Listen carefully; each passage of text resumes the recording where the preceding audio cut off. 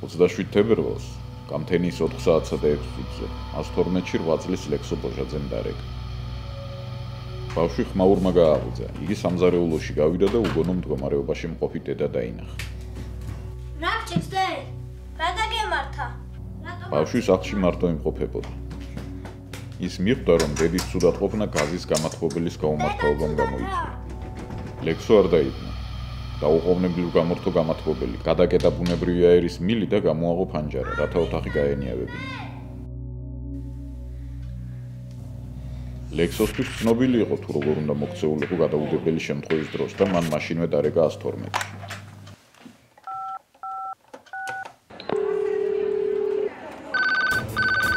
ერთი არი გისმენთ?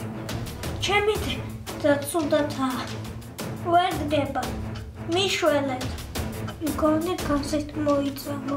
მომისმინე პატარა, გასაგებია, ბინდის ნომერი შეგიძლია რომ მითხრა? იმის მიუხედავად რომ ბავშვი ძალიან ნერვიულობდა, მან 112-ის ოპერატორს დეტალური ინფორმაცია მიაწოდა. 60 ვარ გავიგე. გასაგებია.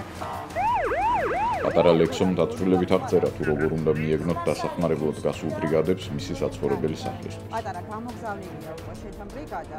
შეძებ კარები რომ გაგვიღო. სახლში მარტო ვარ. კარს ვერ ვაღებ. გასაღებს ფანჯრიდან გამოვიდა. საშინ ვერ ყინავდა, მაგრამ ლექსო საკუთარ თავზე არც კი ფიქრობდა.